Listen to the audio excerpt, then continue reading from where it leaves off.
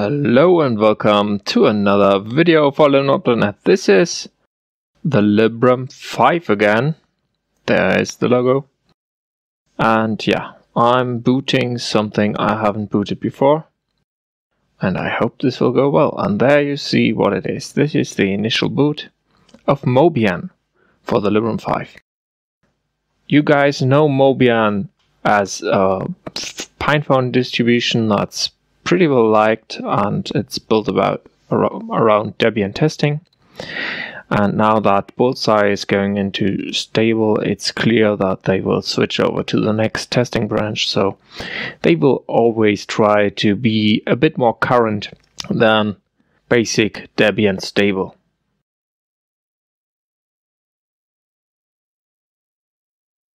This image is uh, yesterday's nightly image. So it should be just standard Mobian, uh, pretty current, not many updates needed.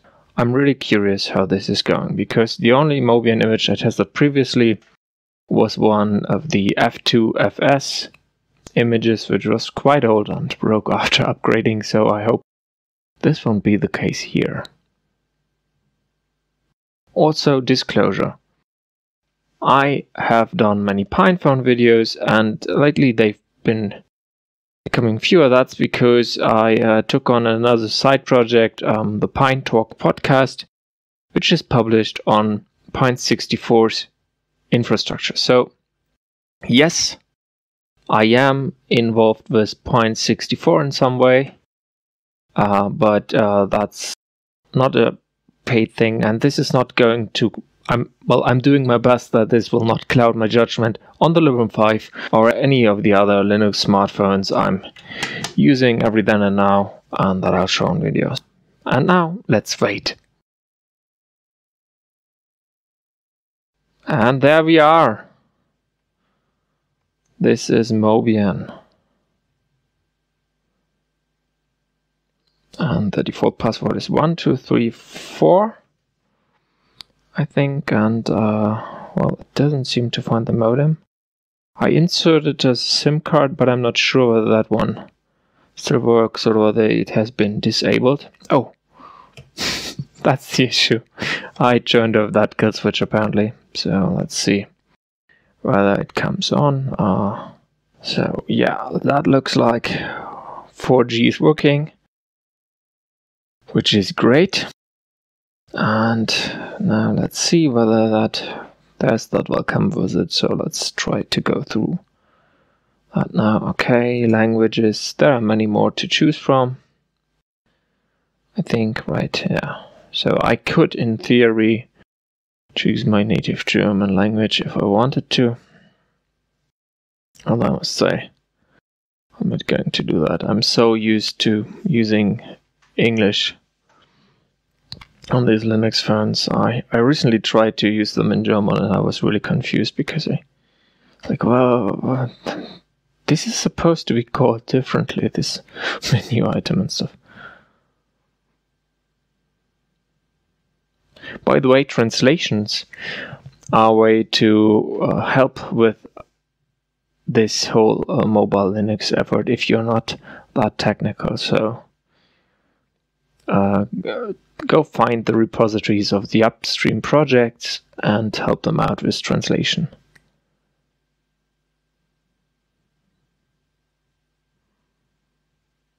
I'm really curious whether this is some kind of bug here. Sometimes uh, I figured that with the Librem 5 and this uh, Redpine Signals Wi-Fi module, it's a bit hit and miss and you need to hit and deactivate that kill switch every then and now more than once. But here we go. There's finally the network. Uh, my, my test network. And so let's enter the password, which is the URL to my blog coincidentally. And yeah. So yeah. I'll skip this here in that dialog because I used the settings app. Then I've got these usual choices. I'll uh, really let both of them on and then you can connect online accounts if you want to. But if you're like me and you've got that those passwords only in some kind of uh, password database, uh, then yeah, you can't do it on the first boot, right? Because you don't want to type those 50 characters, 50 random characters in by yourself. So this is uh, the pre-installed software that comes with Mobian. Uh, notably, it's quite a bit more than what's pre-installed on PureOS. It comes with both GNOME Web and Firefox pre-installed. And I'm using GNOME Web now because I'm curious whether they also carry over the patches that PureOS has. Uh, because uh, in PureOS on the Librem 5, this uh, web browser has been quite fast in scrolling. Uh, yeah. Now I can't really tell, but this is looking fine, although, yeah, there's some inertia. So it's okay, but I'm really not sure whether that's on the patched version. Wait a moment, let me see. If we can maybe tell it from going here. No. No clue. So I would think that's just the regular upstream version of Epiphany here from what I'm seeing. Uh, so yeah, let's start Firefox. okay, looks like someone forgot to change and adjust this uh, start page here because this is not PostMarketOS, this is Mobian. What I'm sure the PostMarketOS guys are going to love the shout out because they've been putting in the work to make Firefox work great on these uh, phones so that it well adjusts somewhat better. And this here is Firefox scrolling in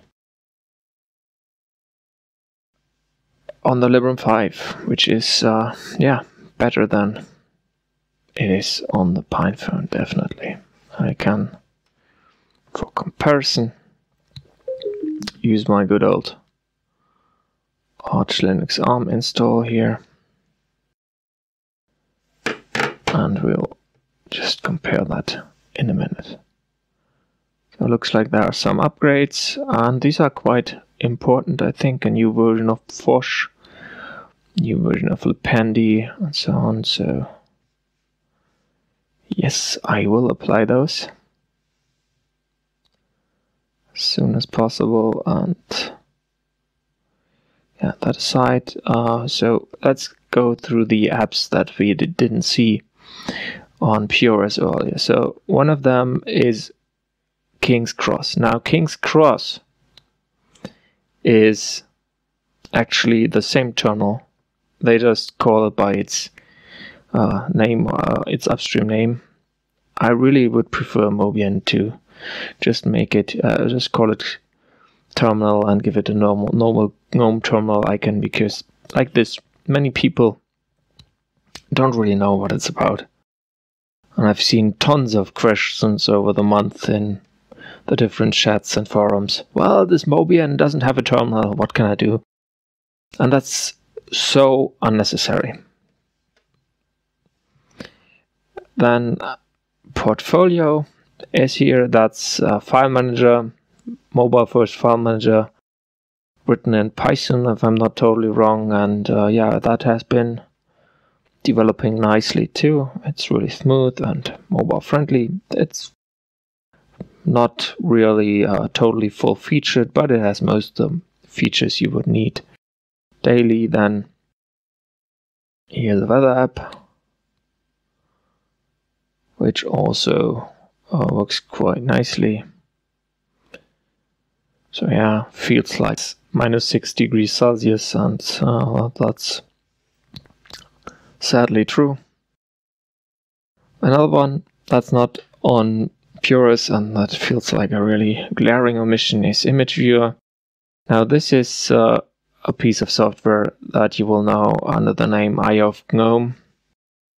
Uh, and yeah, it's mobile friendly since uh, its last release, and I don't know why it's not on PureOS. Also, sound recorder is pretty nice.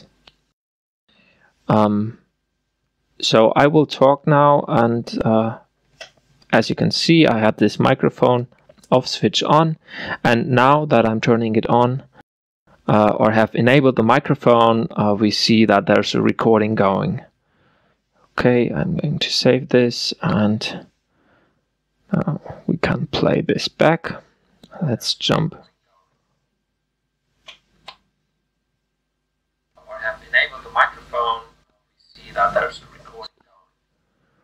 I don't know whether you could hear that, but generally uh, it's fine. The microphones are working well.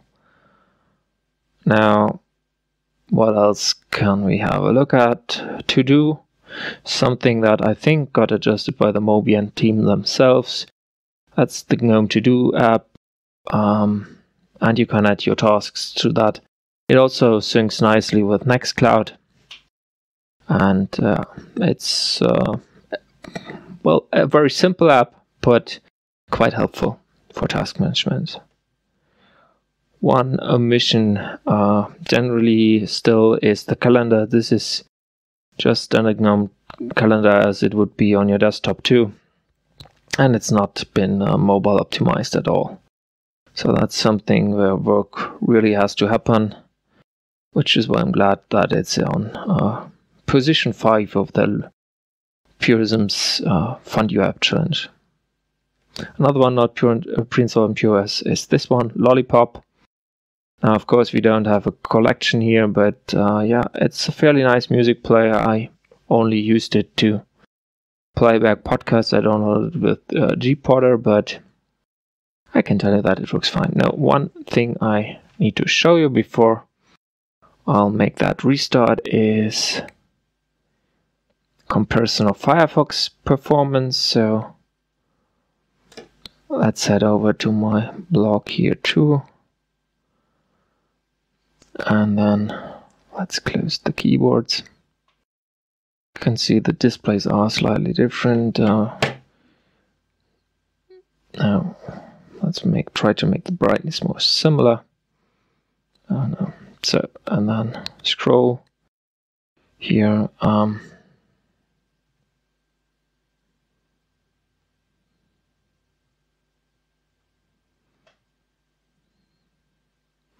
yeah, it's different. The speed is slightly different, and well, this is a little bit choppier, and this on the Librem 5 it looks like totally smooth. I don't see any frame drops there. I, I bet some of you will, but yeah, I don't see any, and I'm not sure whether this stupid uh, camera is actually recording at 60 hertz, so I don't know whether this is going to be useful at all yet. And now let's see how this applies an update.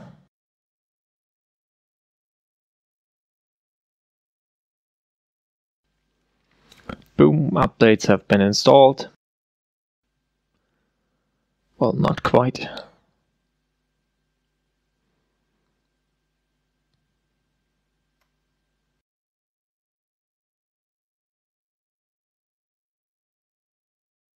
Oh, sorry, it's 1, 2, 3, 4 only per default on Mobian.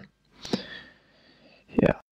So, let's see which kernel we're running now. As you can see, Wi-Fi is again uh, not working after reboot, so I need to toggle that kill switch again to get it working. Uh, that looks like it went fine, and this is kernel 5.9 Librem 5. So PostmarketOS have moved on to 5.11, and I think PureOS actually has too, but uh, that's something I'm going to uh, look at next. So I may play with PostmarketOS a little more this weekend uh, or during the next week. And then I will go back to PureOS for a while to finally uh, get some more use of this pre-installed operating system to then write a review I've promised to write years ago. uh, to be to get that task of my to-do list. There's one more thing I should do, right? Uh, I know that I, I'm going to get asked about this otherwise, so let me just call this number and see if that works.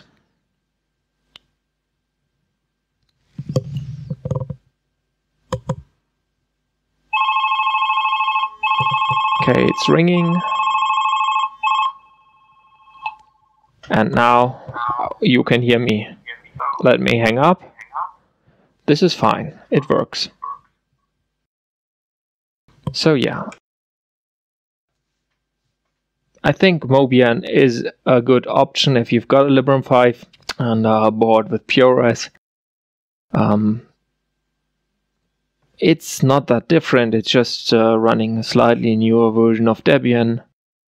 It has um, GNOME software instead of the PureOS store, which is, well, arguably a down- downgrade. Um, and it has many apps. Uh, the great uh, thing about Mobian, for me personally, is um, their wiki, which you can find at wiki.mobian-project.org. Um, which is fairly nice and explains many things that you can tweak uh, also, they've got a blog uh, and uh, Matrix, IRC, and tele- Telegram channels um, where people can help you. Um, so, yeah.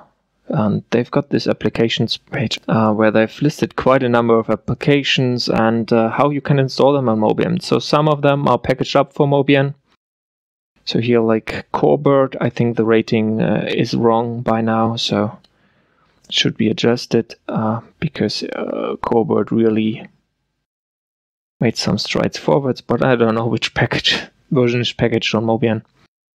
So yeah, um, this is definitely not Purism's version of Epiphany, by the way. This is terrible how it scrolls. Yeah.